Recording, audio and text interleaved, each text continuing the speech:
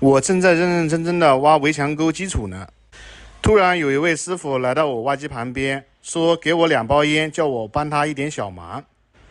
说是他的车子装的货物超载了，叫我挖机把他超载的货物转移到另外一辆车子上面去。我跟他说我不抽烟，我也不会趁火打劫，也不会找你多要，就按起步价算吧，就按。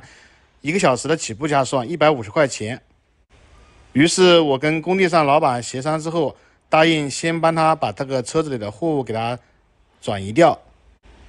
工地上的老板也同意了，于是他把车子开上这个地磅上面，车子开上地磅，这车子的高度又增加了。挖机在他的车厢里面挖这个，这是什么东西啊？铁渣子、铁粉啊？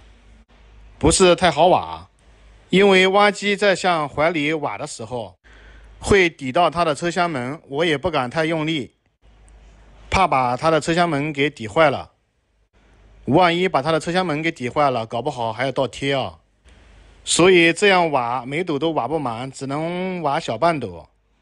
我本以为十几分钟，顶多二十分钟就能给他干完，没想到挖着挖着。已经半个多小时了，看了看磅秤上面还超了六吨啊！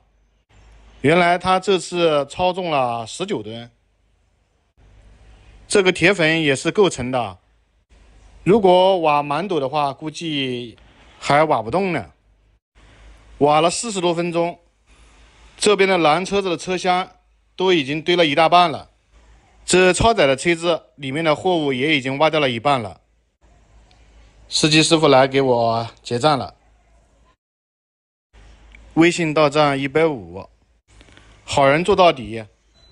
我再来帮他把这抵在车厢旁边的铁粉铁渣子往中间推一推，也不在乎这两三分钟啊。OK，这就是我的挖挖机日常，感谢你的观看，感谢你的支持，咱们下期再见，See you next time，Goodbye。